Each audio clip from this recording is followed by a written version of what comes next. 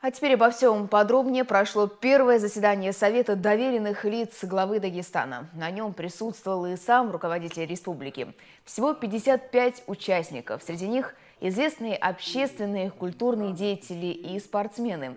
Каждый из них будет представлять определенную сферу – по сути, Совет доверенных лиц – это консультативный орган. В случае необходимости глава может воспользоваться авторитетным мнением его участников. Они, к слову, будут работать и непосредственно с населением. Просьбы граждан обобщат и преобразуют в управленческие проекты. Самое главное вот, для доверенных лиц, если что-то случается в районе и города, оказаться там раньше, чем любой другой – я, например, вопрос так ставлю. Если там не оказался глава администрации, не оказался депутат, а оказался совершенно как бы посторонний человек, значит, этого постороннего человека и надо делать депутатом и главой, потому что он неравнодушный. Поэтому спасибо, что вы занятые люди, значит, пришли сегодня.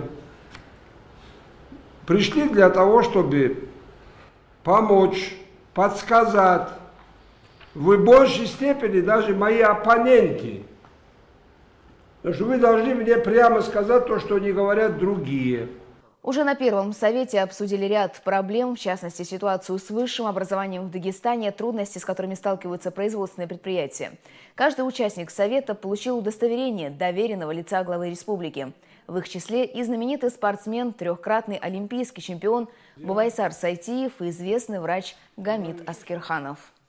Я бы хотел призвать всех тому, чтобы мы задумывались о тех людях, которые не, не могут сидеть в таких советах, чьи, а, чьи нужды, чьи желания, вопросы, к сожалению, в большинстве случаев не доходят до таких компетентов.